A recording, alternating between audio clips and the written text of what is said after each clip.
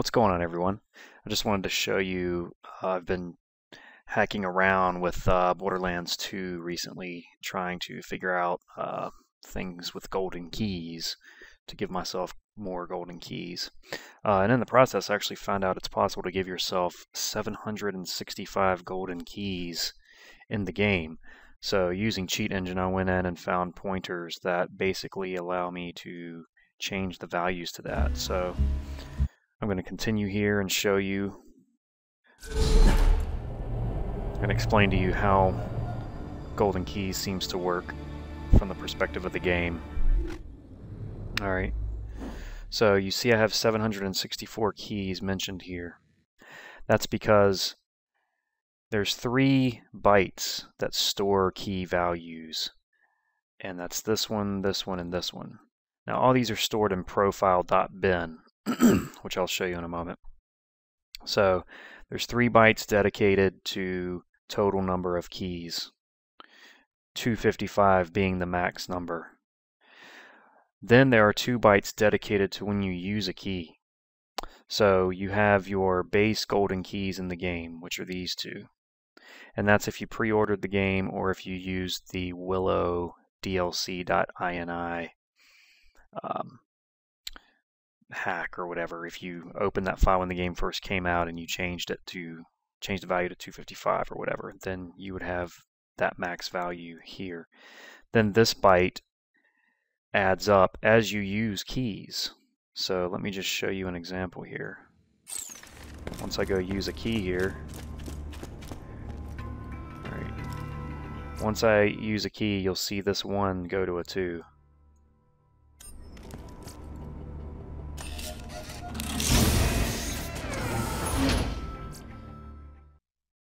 Alright, see how it's 2? It's because I used a key. So what it does is it takes that value and it subtracts it from 255 or whatever you happen to have here. All right.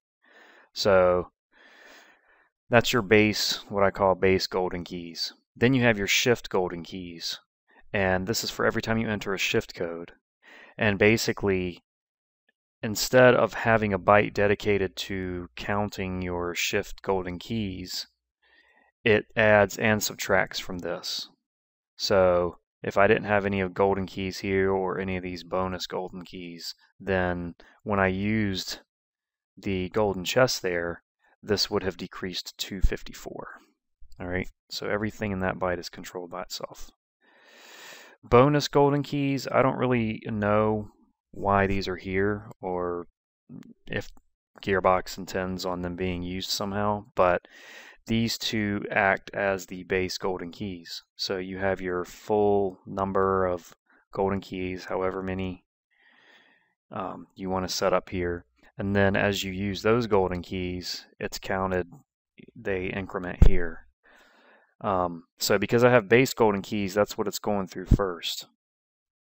Then um, I think it goes through the shift keys and then it finally goes through these bonus golden keys right? So basically, if I set this back to zero and go back into the game here, you'll see that I have 765 keys. Set these values to 100.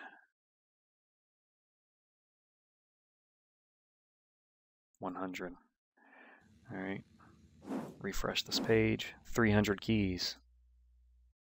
All right, so 255 is the max.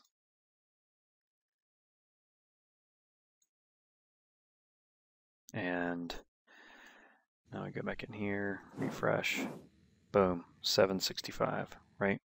Now, the cool thing is that these all all these values aren't far off. So if we browse this memory region, all right, um, which one do we look at? Okay, so that's here, this FF. FF is hex for 255. All right, so this is total number of golden keys here. This one, golden keys used, is this byte right beside it. All right, then you go over to, this byte seems to be unused. This one is your shift golden keys. All right, Then you move over one, two, three bytes. This one is this bonus golden keys, all right? And then finally, this byte here controls those keys being used, all right?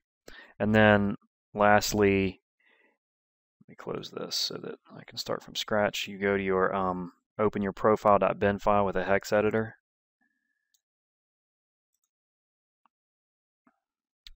And here you can see that this is that FF. So right there, that's the golden keys. All right. Now, this is set to O2 because the profile.bin is being saved every time you use a key, right?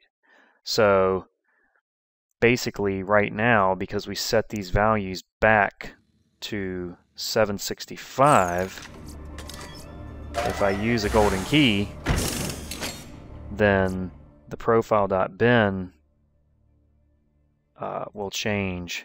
This should change to 0, 1 because it'll be 765 minus the one that I'm about to use here. Yes. See how it saves as soon as you open the chest. So go to the hex editor and boom, 0, 1, right?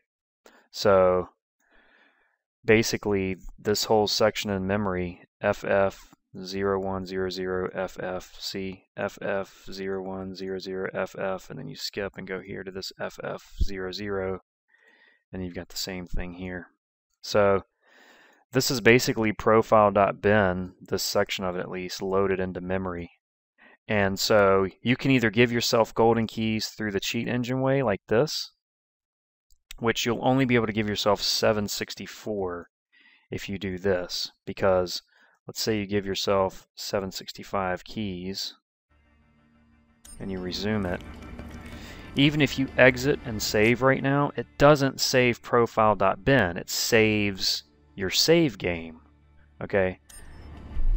So this value is saved in profile.bin, which is only saved to if you get uh, like badass tokens, golden keys, um, and a couple of other things. If you use a shift code, then it saves profile.bin, right?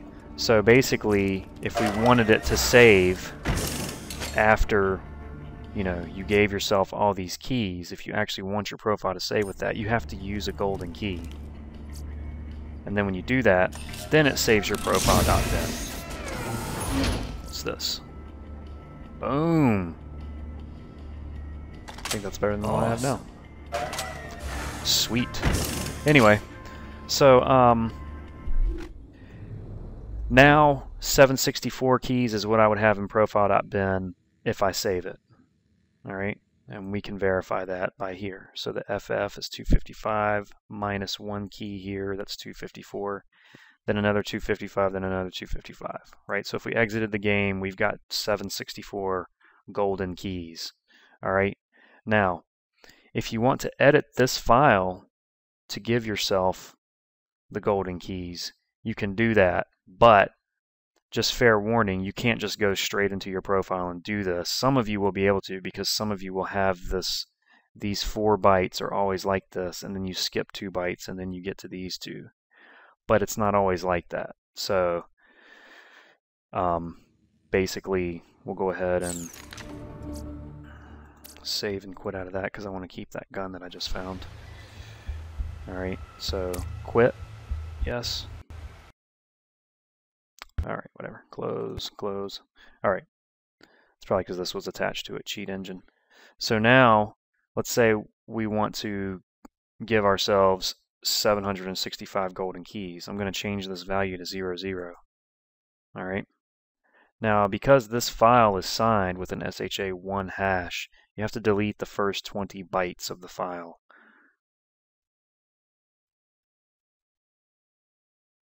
All right. So it's always the first 20 bytes. You delete them. Then you can make whatever changes you want. And then save the file. All right. Then use whatever program or um, plugin or DLL, uh, whatever you want to see what the SHA1 hash of the file is. Let's go to it here.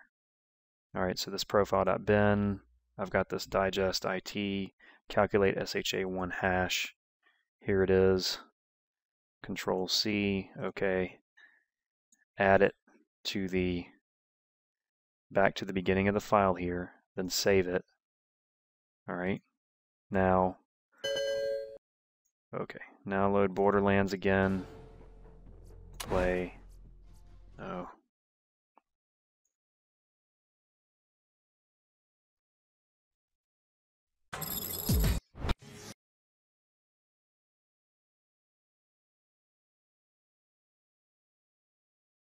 All right. Come on, come on, come on. Okay. And once we load up here, we should see that we have 765 keys. Continue.